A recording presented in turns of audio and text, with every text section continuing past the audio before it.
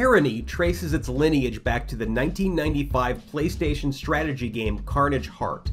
That game put the player in charge of a group of mechs over which they had no direct control. They could only follow pre-programmed commands. Terranny functions the same way, with the player designing and programming a fleet of drones and then sending them into battle with fingers crossed.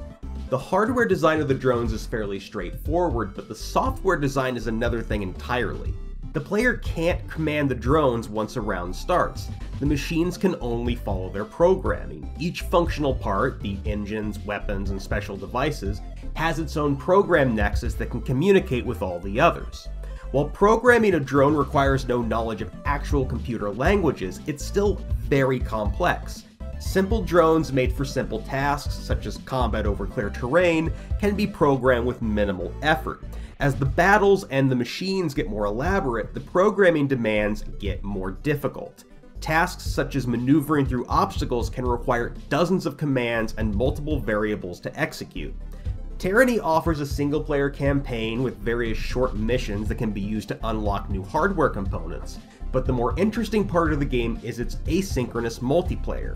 Because combat is automatic, a player doesn't need to be online to participate in a PvP match.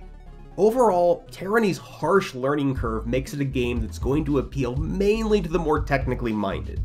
If you're not the patient type, this probably isn't the game for you.